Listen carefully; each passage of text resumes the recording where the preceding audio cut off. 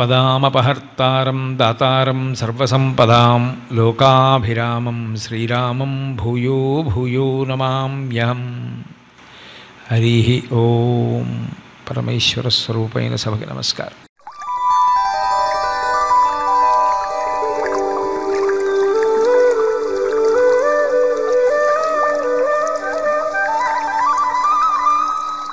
పరీక్షిత్తు గంగా తీరంలో ప్రాయోపవేశం చేసి గంగమ్మ యొక్క వైభవం గురించి ఒక మాట చెప్తాడు.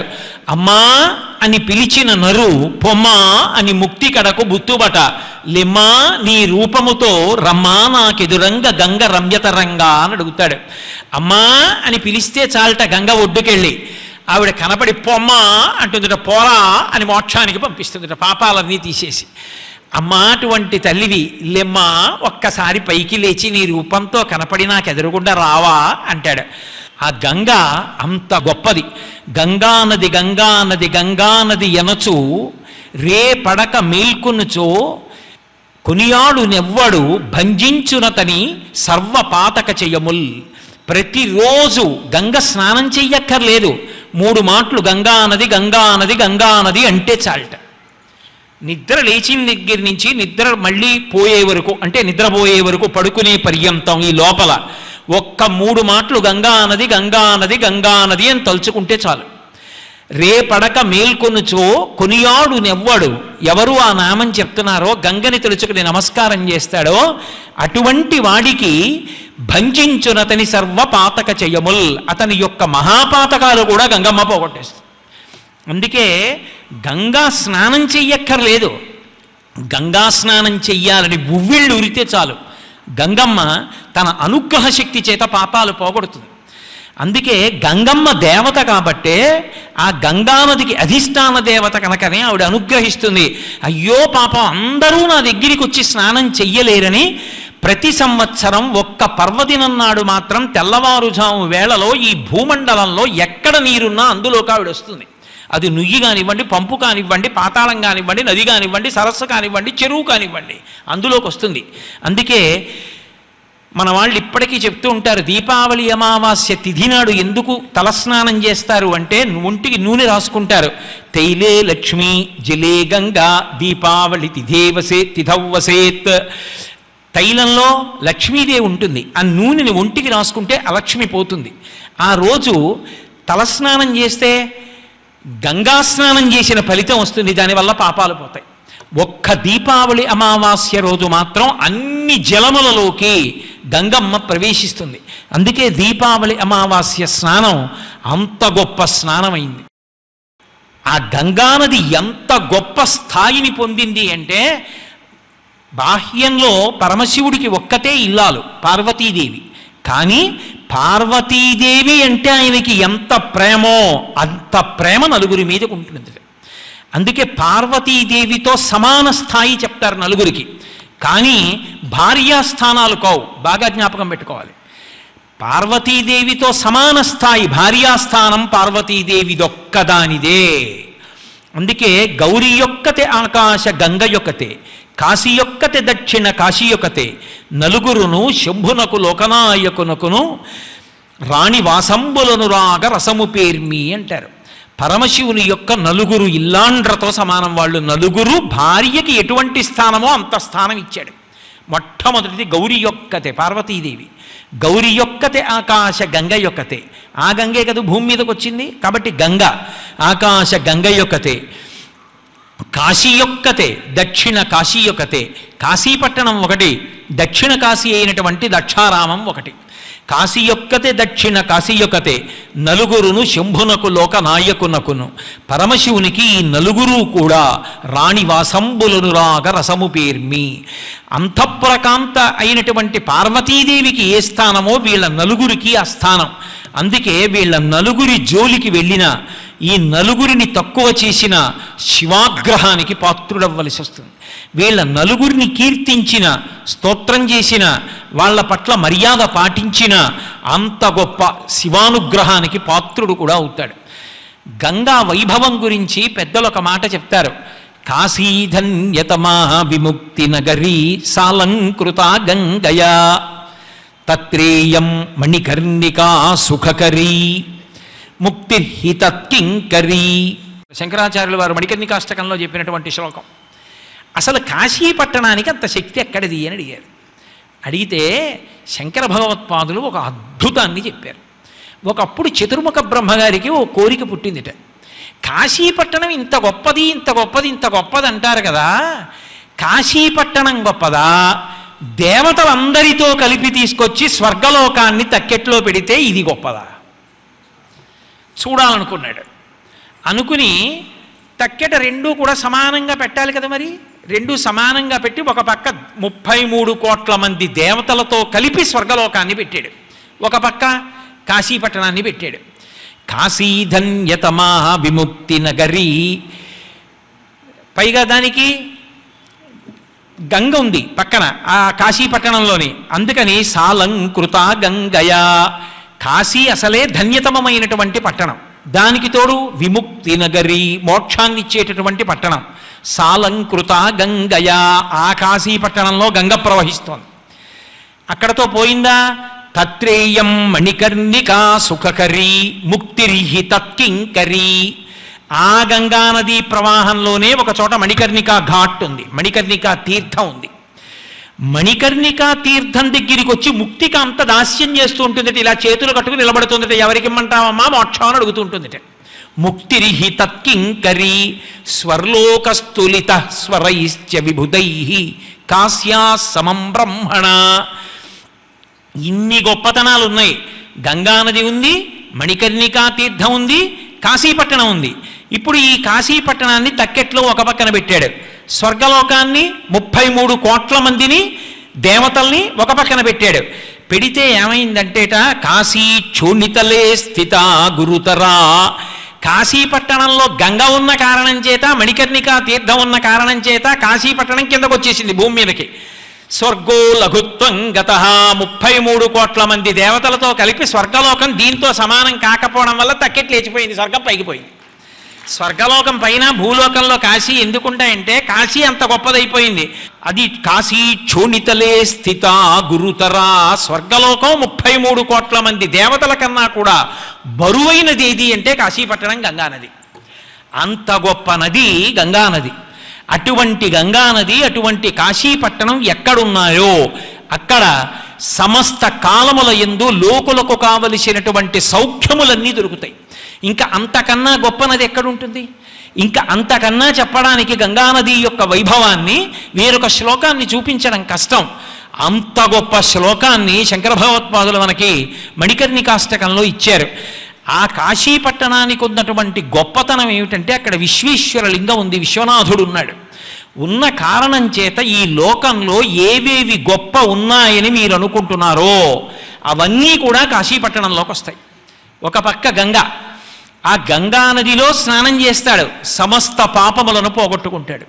విశ్వనాథుణ్ణి సేవిస్తాడు. పరమశివుడికి కూడా గంగా తీరంలో ఉన్నటువంటి కాశీపట్టణం అన్నా గంగానది అన్నా ఆయనకి కూడా ఎంత ప్రీతో దివో దివోదాస వృత్తాంతంలో చెప్తారు. ఆ కాశీని విడిచిపెట్టి ఉండలేడు. ఎప్పుడూ అందులో ఉంటాడు. అందుకే అవిముక్త నగరి అని పేరు. ఆయన వదిలిపెట్టాడు కాబట్టి దానికి ఆ పేరు.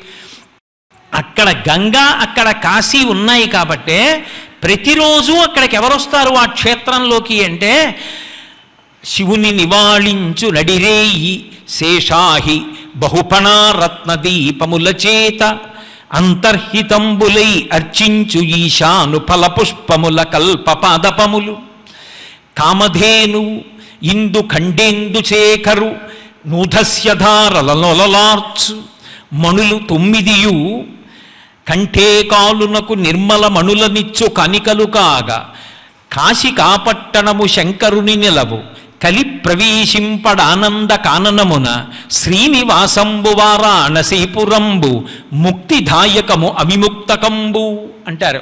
ఆ గంగ పక్కన ఉన్న కారణం చేత గంగ మీద ప్రీతితో శివుడున్న కారణం చేత కాశీపట్టణంలో ఉన్న విశ్వనాథాలయంలోకి ఎవరెవరు వస్తారంటేట అర్ధరాత్రి అయ్యేటప్పటికి వేయి పడగలతో ఆదిశేషుడు లోపలికి వస్తాట వచ్చి నీకు ఇప్పటి వరకు ఇచ్చిన నీరాజనాలు నీరాజనాలు శివ అని వేయి పడగలు విప్పి వేయి పడగల మీద ఉన్నటువంటి మణులు ఆ శివలింగం చుట్టూ తిప్పుతూ నీరాజనాలు ఇస్తాట స్వర్గలోకం నుంచి కల్పవృక్షాలన్నీ వస్తాయిట.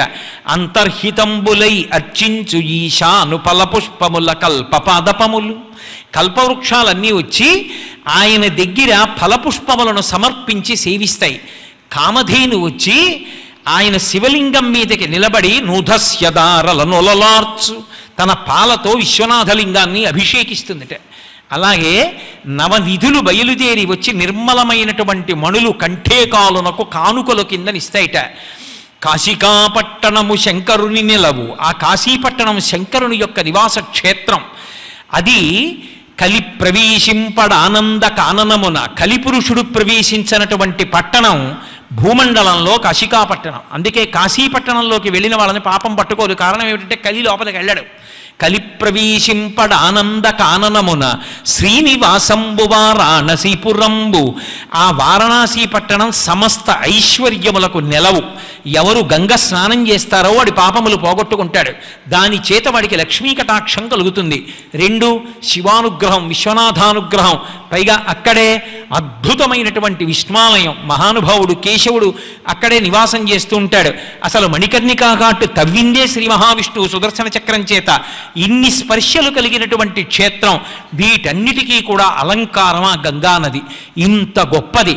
పెద్దలు ఒక మాట చెప్తారు గంగానది స్నానం ఎంత గొప్పది? గంగానదిలో అందులో మణికర్ణికా ఘాట్లో మధ్యాహ్నం పన్నెండు గంటల వేళ స్నానం చెయ్యడం ఎంత గొప్పది అన్నది చెప్తారు. త్వత్తీరే మణికర్ణికే హరిహరౌ సాయుజ్య ముక్తిప్రదౌ వాదంతో కురుత పరస్పరముఖౌ జంతో ప్రయాణోత్సవే అంటారు. ఆ మణికర్ణిక ఘాట్ దగ్గరట ఒక పక్క శ్రీ మహావిష్ణువు నిలబడతారట. ఒక పక్క పరమశివుడు నిలబడతారట. మధ్యాహ్నం పన్నెండు గంటలకి వెళ్ళి సంకల్పం చెప్పి మణికర్ణికలో తల ముంచగానే నేను మోక్షం ఇస్తానంటే నేను మోక్ష మోక్షం ఇస్తానని వాదంతో కురు తత్పరస్పరముఖౌ జంతో ప్రయాణోత్సవే. ఆ వాడి యొక్క ప్రాణములు ఉద్గమించి వెళ్ళిపోయేటప్పుట వాడు మణికర్ణికా ఘాట్కి వచ్చి పన్నెండింటికి స్నానం చేశాడు. నేను మోక్షం ఇస్తానంటే నేను మోక్షం ఇస్తానని చెప్పి శ్రీ మహావిష్ణువు పరమశివుడు ఎదురెదురుగుండా నిలబడి వాదించుకుంటూ ఉంటారట. గంగా స్నానం గంగా మణికర్ణికా ఘాట్ స్నానం అంత గొప్పది. కాదు కాదు శంకరులు అన్నారు ఒక చోట అసలు ఇంద్రుడికి వెయ్యి కళ్ళు ఎందుకు వచ్చాయంటేట గంగా స్నానం చేసే వాళ్ళకి నేను మోక్షం ఇస్తానంటే నేను మోక్షం ఇస్తానని బహురూపాలతో శివకేశవులు ఇద్దరు వాదించుకుంటుంటే అన్నన్న స్నానం చేసి ఎంత పాపాత్ములు ఎంత గొప్ప స్థితిని పొందారా? వీళ్ళు దెబ్బలాడుకుంటున్నారు మోక్షం ఇస్తామంటున్నారని చెప్పి వెయ్యి కళ్ళతో చూస్తూ ఉంటాట ఆ విశేషాలు. అందుకొచ్చేట సహస్రనేత్రాలు. అందుకే మధ్యాహ్నే మణికర్ణికా స్నపనజం. పుణ్యం నభుక్తం క్షమ. అది కూడా ఎవరు? స్వీయైరబ్దశతై చతుర్ముఖధరో వేదార్థదీక్షా గురో. యోగాభ్యాస బలేన చంద్రశిఖరస్తత్పుణ్యపారంగత. తత్తీరే ప్రకరో ప్రక ప్రకరోతి సుప్త పురుషం నారాయణం వా శివం అన్నారు. గంగానది స్నానం ఎంత వైభవోపేతమో శంకర భగవత్పాదుడు తీర్పు చెప్పారు. గంగానదిలో స్నానం చేసి శరీరం విడిచిపెట్టేసినటువంటి వాడు ఏ స్థితిని పొందుతాడంటేట ఒకడు నారాయణ రూపాన్ని పొందేస్తాట ఒకడు శివస్వరూపాన్ని పొందేస్తాట. పొందేసి ఒకడు చంద్రశేఖరుడు అయ్యాడు ఒకడు శ్రీ మహావిష్ణువు అయ్యాడంటే సారూప్య మోక్షాన్ని పొందారు. ఇద్దరు అటువంటి రూపాలు పొందారు. పొంది ఈ మోక్షాలు పొందిన వాళ్ళందరూ సారూప్య మోక్షం పొంది గంగ ఒడ్డున తిరుగుతుంటేట అసలు శ్రీ మహావిష్ణువు అసలు చంద్రశేఖరుడు అనుకుంటారట. ఇంతమంది తిరుగుతుంటే మన ఇద్దరం నిలబడితే మాత్రం మనమే విష్ణువు చంద్రశేఖరుడు అని ఎవరు తెలుసుకుంటారు? అని తత్తీరే ప్రక ప్రకరోతి సుప్త పరుషం పురుషం నారాయణం వా శివం. వాళ్ళిద్దరూ శుభ్రంగా పడుకుంటారట అలా ఒడ్డున. వాళ్ళందరూ మోక్షాన్ని పొంది అన్ని రూపాలు పొందారుగా సారూప మోక్షం. చూడండి అందరినీ మన రూపాలేగా పొందారు అని అసలు విష్ణువు అసలు శివుడు పడుకుంటారట ఒడ్డున. పడుకుని ఆ చమత్కారం చూసి సంతోషిస్తుంటారట చూడరా ఈ నదిలో స్నానం చేసిన వాళ్ళు మన రూపాలు పొందేశారు.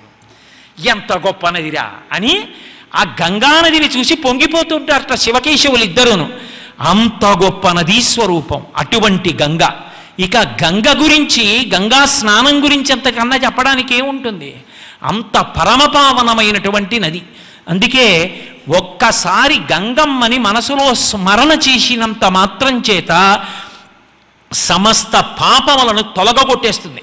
తొలగగొట్టి అపారమైనటువంటి పుణ్యాన్ని ఇవ్వగలదు. అటువంటి గంగకి అధిష్టాన దేవత ఉంది. ఆవిడ గంగమ్మ గంగమ్మ అని పిలుస్తూ ఉంటాం. అటువంటి గంగమ్మ ఎన్నో పర్యాయాలు పెద్దలైన వాళ్ళకి దర్శనమిచ్చింది తల్లి. ఒకనకొకప్పుడు తాడేపల్లి రాఘవనారాయణ శాస్త్రి గారని మహాపురుషులు చందోల్లో ఉండేవారు. వారు కూర్చుంటే బాలాదేవత ఆయన చుట్టూ తిరుగుతూ ఉండేది ఆయన చుట్టూ తిరుగుతుంటే గజ్జెల చప్పుడు వినపడేది. ఆయన పడుకుంటే అక్కడ ఉన్నటువంటి గడప మీద గుమ్మం మీద ఆవిడ కూర్చునేది కూర్చుని మాట్లాడుతుండేది. చాలా సందర్భాల్లో నేను చందోలు వెళ్ళి ప్రత్యక్షంగా అవన్నీ చూసి వచ్చాను కూడా ఒకప్పుడు. ఆయన పడుకున్న పడక కుర్చీ ఉంది ఇప్పటికీ. ఆయన ఆ ద్వారం దగ్గర పడక కుర్చీలో పడుకుని ఏదో ఆలోచిస్తూ ఉంటే శాస్త్రి గారిని చూడ్డానికి వచ్చినటువంటి ఒక ఆడావిడ అమ్మ శాస్త్రి గారు ఉన్నారా? అని అడిగింది. నేనే శాస్త్రిని అన్నారు ఆయన. అమ్మ పరాచికాలు వద్దమ్మా శాస్త్రి గారు ఉన్నారా చెప్పండి అంది. నేనేనే శాస్త్రిని అన్నారు ఆయన. అమ్మా హాస్యం వద్దమ్మా శాస్త్రి గారు ఉంటే చెప్పండి అమ్మా అని దిగ్గునైన కుర్చీలోంచి లేచి చెప్తే వినలేవా? నేనే శాస్త్రిని అని గట్టిగా అరిచి నించున్నారు. అప్పుడు ఆవిడ కళ్ళు నులుముకుంటే శాస్త్రి గారు కనపడ్డారు. అప్పటి వరకు ఆయనకి బదులు బాలాదేవి కనపడింది. అంత బాలోపాసన చేసిన మహాపురుషులు. వారి చుట్టూ ఎప్పుడూ వారి ఇంట్లో తిరుగుతూ ఉండేది అమ్మవారు. ఆఖరికి ఆయన శరీరం పడిపోయినప్పుడు ఆయన శరీరానికి అగ్నిహోత్ర సంస్కారం చేస్తే అప్పుడు ఆయన శరీరాన్ని విడిచిపెట్టి ఆ- ఆ కట్టెల మీద కూర్చుని ఫోటోలో కూడా పడింది ఆవిడ. ఆ చిట్ట చివరి ఫోటోలో ఆ బాలాదేవి పడింది కూడా. అంతటి మహోపాసకుడు మహానుభావుడు. అటువంటి తాడేపల్లి రాఘవనారాయణ శాస్త్రి గారు గంగానదిలో స్నానం చేయడానికి వెళ్ళారు. వెళ్ళి స్నానం చేస్తూ తల ముంచి సంకల్పం చెప్పి తల ముంచారు. నాకేమిస్తావు? అని వినపడింది ఆడకంఠం. ఆయన మళ్ళీ ములిగారు. నాకేమిస్తావు శాస్త్రి? అని వినపడింది. మూడో మాట ములిగారు. శాస్త్రి నాకేమిస్తావు? అని వినపడింది. ఓ గంగమ్మ ఏమైనా ఇమ్మని అడుగుతోంది. అమ్మ కదూ? పరమ భాగవతోత్తములైన వాళ్ళు స్నానం చేస్తే గంగమ్మ ఇప్పటికీ పలుకుతుంది. నన్ను నమ్మండి. ఆయన స్నానం చేస్తే అడిగింది ఏమి ఇవ్వాలని ఆలోచించి ఆయన చేతికి దర్భ ముడి ఉంది ఉంగరం. తీసేసి అమ్మ తీసుకోని ఇచ్చేశారు. ఇచ్చేసి ఇంటికి వెళ్ళిపోయారు తన విడిదికి. వెళ్ళిపోయి ఒళ్ళు తుడుచుకుని పొడిబట్ట కట్టుకుని అనుష్ఠానం చేసుకుందామని కూర్చున్నారు. ఎదురుగుండా మళ్ళీ పూజా మందిరంలో ఆయన పూజ చేసుకుందాం అనుకున్న చోట దర్భల ఉంగరం ఉంది. అమ్మా నీకు దర్భల ఉంగరం ఇచ్చాను తెచ్చి ఇచ్చేసామే అన్నారు. అనేటప్పటికీ ఆయన యొక్క పూజ చేసుకుందాం అనుకున్న చోటు నుంచి గంగమ్మ పలికింది. శాస్త్రి దర్భముడి ఉంగరం తీసి ఇవ్వచ్చా బ్రాహ్మణుడు? అది ఉంటే కదూ కర్మానుష్ఠానం? బ్రాహ్మణుడి కర్మానుష్ఠానానికి సాధనమైనటువంటి దర్భ ఉంగరాన్ని నేను తీసేసుకోవచ్చా? ఆడదాన్ని కదా అమ్మని కదా నాకు ఇష్టమైంది ఏమన్నా ఈ శాస్త్రి? అంది. అమ్మా ఇస్తానమ్మా అని తన భార్యని పిలిచి నీ మెళ్ళో గొలుసు అన్నారు. ఆవిడ తీసి గొలుసి ఇచ్చేశారు పట్టుకొచ్చి గంగమ్మకి ఇచ్చారు. శాస్త్రి సంతోషంగా పుచ్చుకుంటున్నానని గంగమ్మ పుచ్చుకుంది. ఇప్పటికీ గంగమ్మ పలుకుతుంది. మీకు ప్రబల సాక్ష్యం కావాలంటే నేను ఒకటి చూపిస్తా. మీరు కాశీ పట్టణానికి వెడితే ఆయన దగ్గరికి వెళ్ళి అడగచ్చు. కోటేశ్వరరావు అబద్ధం చెప్పారనుకుంటే. ఇప్పటికీ చింతామణి గణపతి అని దేవాలయం ఉంది. దాని అన్నదమ్ములు ఉన్నారు. అందులో ఆ జగన్నాథని అందరిలోకి చిన్నవాడు. ఆయన నేను ఉపన్యాసాలు చెప్పే చోట్లకి వస్తుంటారు కూడా. ఉత్తర భారతం ఎప్పుడైనా నేను వెడితే అక్కడికి వస్తుంటారు ఆయన. ఆ పరమ భాగవతోత్తములైనటువంటి అన్నదమ్ములు. వాళ్ళ నాన్నగారు ఆంధ్రదేశం నుంచే వెళ్ళి కాశీపట్టణంలో ఉండిపోయేవారు. ఉండిపోయారు. చాలా కాలం జీవించారు ఆయన. ఆయనకు నియమం ఉండేది. ఆయన ఎప్పుడైనా ఎక్కడికైనా వెడితే ఎవరింట్లోనైనా భోజనం చేస్తే వాళ్ళింట్లో శుభకార్యం అవుతున్నట్టు ఆయనకి తెలిస్తే శుభలేక లేకపోయినా సరే కొడుకుల్ని పంపించి బహుమానం ఇప్పించి ఆశీర్వచనం చేయించేవారు. ఆ ఇంట్లో అన్నం తిన్నాను రా అనేవారు ఆయన అటువంటి మహానుభావుడికి నియమం ఉండేది. గంగ గడ్డ కట్టినా సరే స్నానం చేసి వచ్చేవారు. గంగ స్నానం చేయకుండా ఆయన ఉండేవారు కాదు. అటువంటి రోజుల్లో పెద్దవారు అయిపోయిన తర్వాత ఒకనకొకప్పుడు గంగానది ఎంత మంచులా ఘనీభవించేసింది. అయినా సరే కాస్త నీళ్ళున్న చోటుకెళ్ళి ములిగారు. ఆయన ఇప్పుడు ములుగుతారు. అలాగే ములిగారు. ఇక తేలలేదు. ఏమైపోయారని చెప్పి వెతికారు. దొరకలేదు. పెద్ద పెద్ద వలలు వేయించారు. గజ ఈతగాళ్ళని తీసుకొచ్చారు. పైకి తేలలేదు శరీరం. కానీ ఇంకా అందులో నిక్షేపింపబడిపోయింది. కాబట్టి అంత్యేష్టి సంస్కారం చేసి ఇచ్చు అన్నారు. సాధారణంగా నీటిలో శరీరం మునిగిపోయి శరీరం విడిచిపెట్టేస్తే ముందు చెవులును కళ్ళు తినేస్తాయి చేపలు. ఎందుకంటే మెత్తగా ఉంటాయి మృదులాస్తి అంటారు. మెత్తటి ఎముకలతో ఉంటుంది అందుకే వంగుతుంది. అందుకే నీళ్ళల్లో పడిపోయి దొరికిన శవాలకి చెవులు కళ్ళు ఉండక భయంకరంగా ఉంటాయి. ముక్కు ఒకటి తినేస్తాయి. ఆయన తొమ్మిది రోజుల తర్వాత లేచింది. ఎక్కడ పడిపోయారో అక్కడే లేచారు శరీరం. మా శాస్త్రి గారి శరీరం పైకి లేచిందన్నారు. గబగబా తీసుకొచ్చారు. ఆయన మునిగినప్పుడు ఎలా ఉన్నారో తొమ్మిది రోజుల తర్వాత అంత దేదీప్యమానంగా ఉంది శరీరం. కనీసం ఇలా చెవి తమ్మి కూడా కొరకలేరు చేపలు. ఎలా స్నానానికి వెళ్ళారో అంత తేజోవంతంగానూ ఉన్నారు. తెల్లబోయారు. అప్పుడు ఒక మహాత్ముడు చెప్పాడు ఏమయ్యా ప్రతిరోజు గంగ స్నానం చేయడానికి అలవాటు పడ్డవారు మీ నాన్నగారు. అటువంటి మహానుభావుడు ఇంతకాలం గంగలో స్నానం చేసి తిరిగి ఆంధ్రదేశానికి వెళ్ళిపోకుండా ఈ గంగా స్నానం కోసం కాశీలో ఉండిపోతానని కాశీపట్టణంలో ఉండిపోయారు. అటువంటి మహానుభావుడు ఆఖరణ గంగలో స్నానం చేసి వెళ్ళిపోతే అమ్మ ఎలా వదిలేస్తుంది? నిన్ను తొమ్మిది నెలలు కంది మీ అమ్మ కడుపులో పెట్టుకుని కనీసం తొమ్మిది రోజులు నా కడుపులో పెట్టుకుంటానని గంగమ్మ గౌరవించి తొమ్మిది రోజులు తన కడుపులో ఉంచుకుంది. అందుకే మీ నాన్న శరీరాన్ని ఏ జలచరములు చెనకలేదు. మళ్ళీ ఎంత తేజోవంతంగా ఎంత ఆరోగ్యంగా ఆయన స్నానానికి వెళ్ళినప్పుడు మునిగారో అంత తేజోవంతంగానూ శరీరం పైకొచ్చింది. అంటే గంగాదేవి యొక్క అధిష్టాన దేవత ఇప్పటికీ కూడా మాట్లాడుతుంది ఇప్పటికీ కూడా పెద్దలైన వారిని అనుగ్రహిస్తూ ఉంటుంది ఇప్పటికీ కూడా ఆ గంగా జలాన్ని నోటిలో చుక్క వేసుకున్న వాణ్ణి చూసి పరవశించిపోయి ఆ తల్లి సమస్త పాప రాశిని ధ్వంసం చేస్తుంది. అందుకే గంగ విషయంలో ఒకటి చెప్తారు ఇద్దరు వ్యక్తులు గంగ స్నానం చేద్దామని బయలుదేరితే. ఒకడికి నూట నాలుగు జ్వరం వచ్చి స్నానం చేయలేకపోతే వాడి కన్నుల ఎదురుగుండానే ఒకడు స్నానం చేసి రెండో వాడు నీళ్ళు కూడా చల్లుకోలేకపోతే గంగ స్నానం చెయ్యలేకపోయానని ఆర్తి పొంది తిరిగి వచ్చేస్తే రెండో వాడికి స్నాన ఫలితం పడుతుందా? గంగా స్నానమునకు ఆర్తి పొందితే వాడు గంగా స్నానం చేసినట్టే. మీరు నన్ను నమ్మండి ఇవాళ ప్రత్యక్షంగా మీరు పరోక్షంగా ఈ గంగ యొక్క వైభవాన్ని వింటున్న వాళ్ళు ఒక్కసారి గంగలో స్నానం చెయ్యాలని ఓపిక ఉన్నవాళ్ళు ఓపిక లేని వాళ్ళు ఇంకా నేను వెళ్ళగలనా అని ఆర్తి పొందినవారు అందరూ ఇన్ని కోట్ల మందికి గంగమ్మ స్నానం చేసిన ఫలితాన్ని కట్టపెట్టేస్తుంది. ఎందుకని అంటే గంగ యొక్క అధిష్టాన దేవత అంతటి కరుణామూర్తి అంత గొప్ప దేవత అంత గొప్ప నది అటువంటి గంగమ్మ ఎక్కడ ఉన్నదో ఆ గంగమ్మయే భారతదేశంలో మనుష్య భూమి దేవతా భూమి విడదీస్తుంది. అందుకే హరిద్వార్ క్షేత్రం వచ్చింది. హరిద్వార్ గంగాద్వారం అంటారు. అక్కడే పూర్వం ప్రయోపవేశం చేయడం అక్కడే భాగవతాదులు వినడం అక్కడే గంగ స్నానం చేసి కొన్నాళ్ళు ఉండి పవిత్ర గ్రంథపఠనం చెయ్యడం మంత్రజపం చేసుకోవడం అక్కడే భగవన్నామాన్ని వ్రాసుకోవడం కొంతకాలం చేసేవారు హరిద్వారంలో ఉండి. ఎందుకంటే హరిద్వారం దాటి ఉత్తర దిక్కుగా వెళ్ళిపోతే అవన్నీ కూడా ఇక తపోభూములు దేవభూములు. ఇంకా ఆ భూములంతటా కూడా దేవతలు ప్రత్యక్షంగా తిరుగుతారు. అందుకే మీరు చూడండి అటువైపు భూములు కొంతకాలం ఇక మనుష్యులు వెళ్ళడానికి యోగ్యంగా ఉండవు. అవి మనుష్యులు వెళ్ళడానికి వీలు లేక మూతపడతాయి. దేవతలు ఒక్కరే తిరుగుతారు. దక్షిణ భారతదేశంలో అరుణాచలానికి గిరి ప్రదక్షిణం దేవతలు ఎలా చేస్తారో అలా దేవతలు తిరుగుతారు. అలాగే మహా తపస్సు చేసుకునేటటువంటి యోగులైనటువంటి వారు ఆ గంగాద్వారం హరిద్వార్కి అవతల ఉత్తర దిక్కు వైపు తిరుగుతూ ఉంటారు. కింది వైపు సాధన చేసేటటువంటి వారందరూ కూడా గంగకి యువతల వైపు దక్షిణంలో ఉంటారు. అందుకే గంగాద్వారము అన్న పేరుతో హరిద్వారము అన్న పేరుతో యోగభూములు తపోభూములు దేవభూములు సాధారణమైనటువంటి అనుష్ఠాన సంబంధ భూములు విడిపడ్డాయి. గంగ అంత గొప్ప గంగ. అటువంటి గంగ త్రివేణీ సంగమంగా మారుతుంది అలహాబాద్ దగ్గరికి వచ్చేటప్పటికి. అక్కడే గంగా యమున సరస్వతి మూడు కలుస్తాయి. సరస్వతి అంతర్వాహిని. త్రివేణీ సంగమమై లోకాన్నంతటినీ ఉద్ధరిస్తుంటుంది అంత పారమపావనమైనటువంటి గంగానది.